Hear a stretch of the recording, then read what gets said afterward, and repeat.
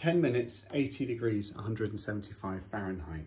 Why do we say 80 degrees? Because the stuff on the inside melts at about 95 degrees centigrade. If you go above that, you're going to cause permanent damage to the structure of the foams being used and that's not good. It means your iPad won't work very well. I would strongly recommend getting a thermometer so you can actually see what's going on on the inside because every oven is different and then we can change the memory of the material so that when it cools down, it cools down in a shape and it goes, oh, this is what I should be like rather than that. Over time, the more you use it, it will of course influence this, but you can kick start that by heating it up first of all. You don't want to heat it up too far.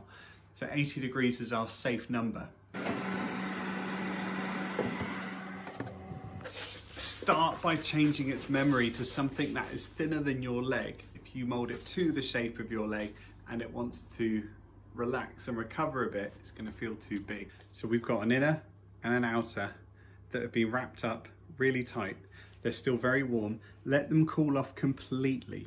Leave them overnight. Go and forget about them for a bit because cooling off in this shape will influence the memory of the rigid material, the plastic in the center. You change its memory, it's more likely going to hold its shape, do a better job protecting you.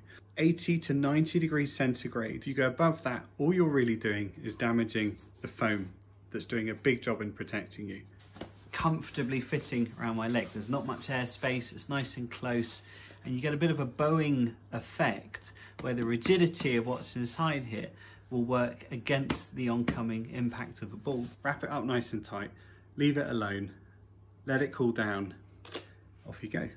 Nice one.